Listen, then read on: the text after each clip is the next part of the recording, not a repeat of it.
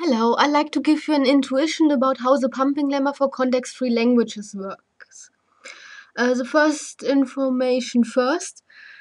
Um, if you have a language that is context-free, it means that you that you can pump it. And if it's not pumpable, then it means that the language is not context-free.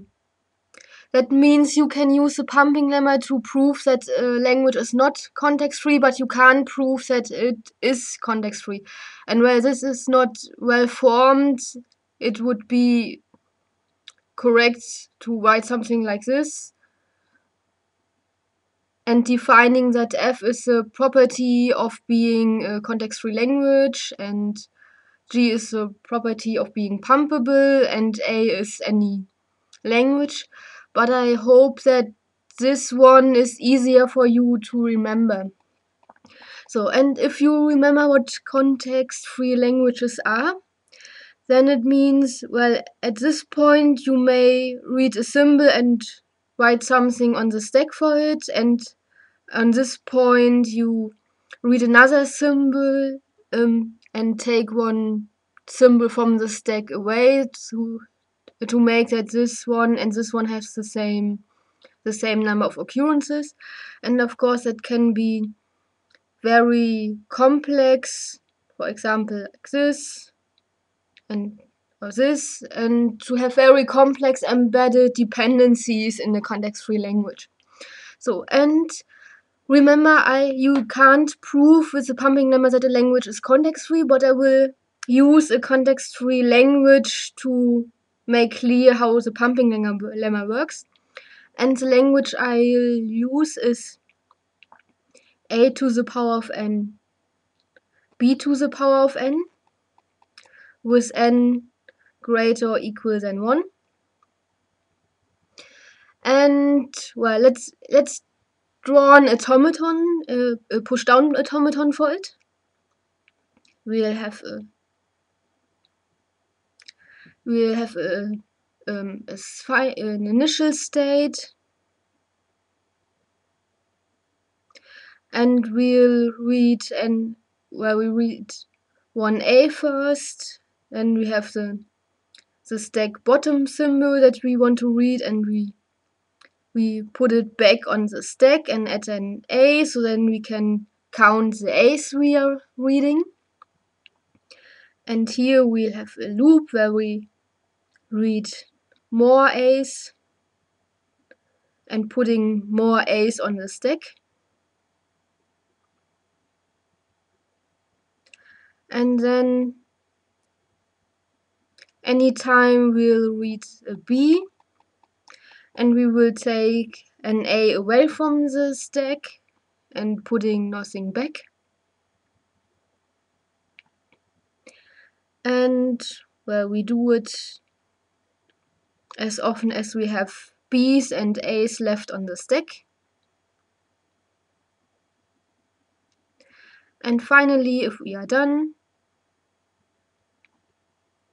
we remove the, the bottom symbol and going into the final state. And of course, this automaton accepts both with empty stack and with final state. So um, yeah, and in the in the pumping lemma for context-free languages, we have a capital or a big N, and that N is different from that one because that is a variable that shows you um, at which number of occurrences A's and B's have.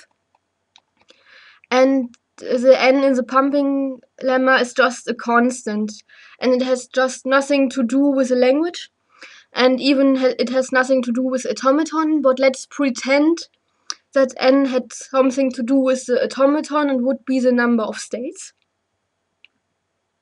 And of course, in the pumping lemma itself, you wouldn't choose uh, you wouldn't choose a number for n, it would be just any number.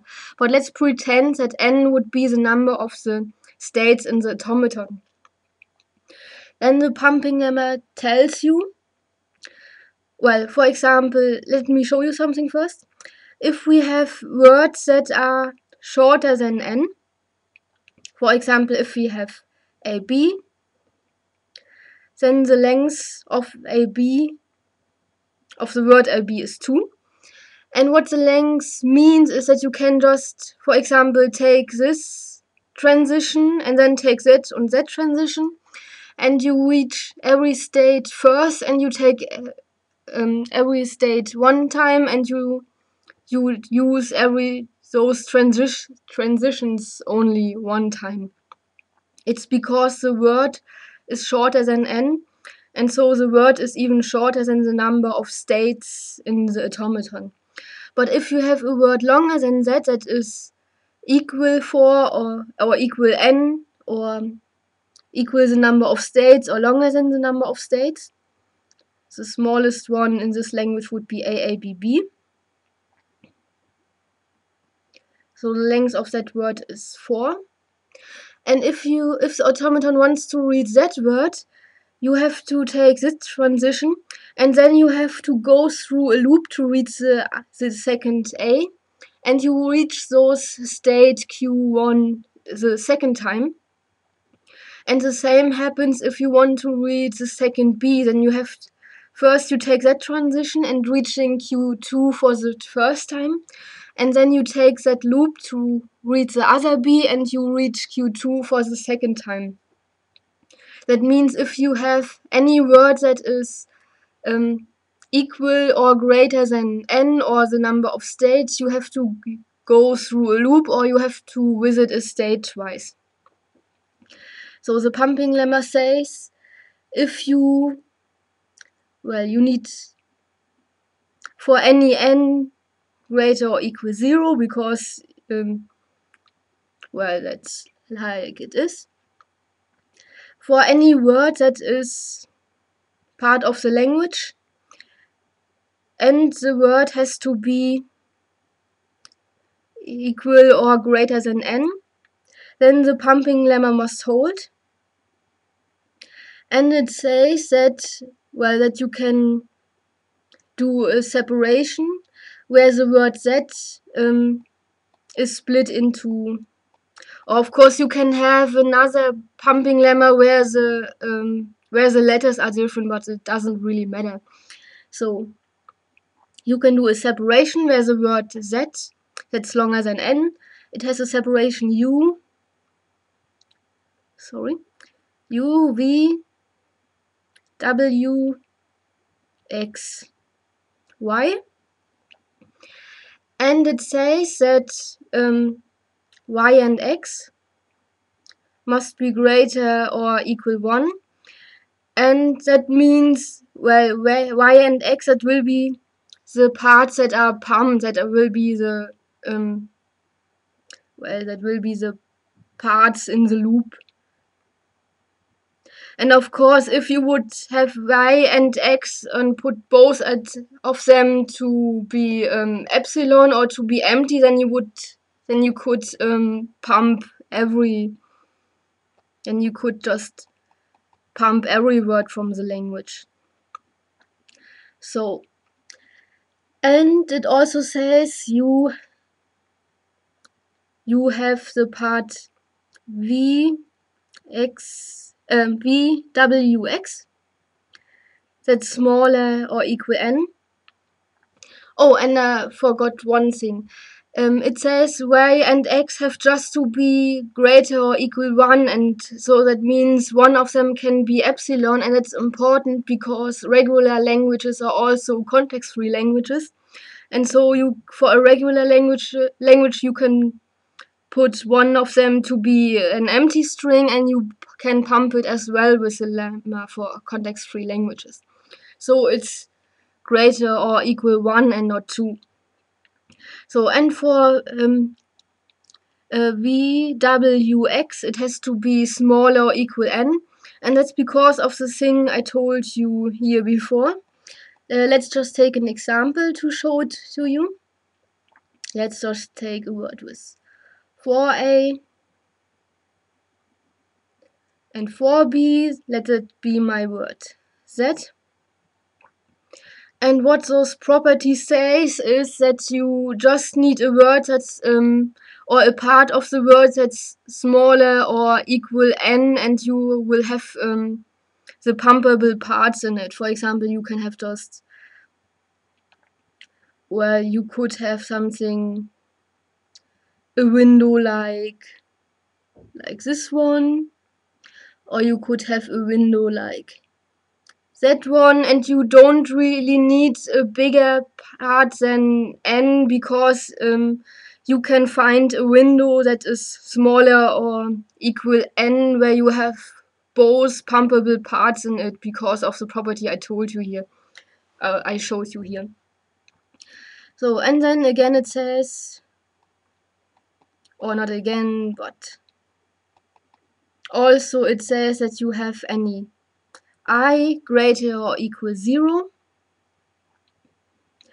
where you have those separation pumped you have u v to the power of i w x to the power of i y which is also in the language. And let me mark it for you. If you have those both pumpable parts in it.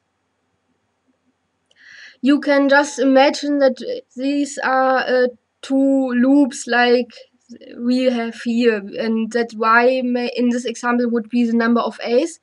And if you just read one more a you need to read one more b so that the word will stay in the language. So you have to pump v and x um, um, for the same amount so that the word will stay in the language so and well, I hope that made you clear.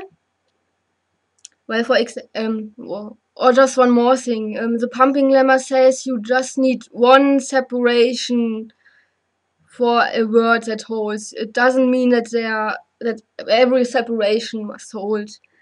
For every separation, the pumping lemma must hold. So in my example here, well, we could be two A's when I take a window like this one. And X will be 2B and if I would pump it or, or take um, maybe I, I, take I as 2 then I would have two parts those two A's. So I had four A's and two times those B's and I had four E's.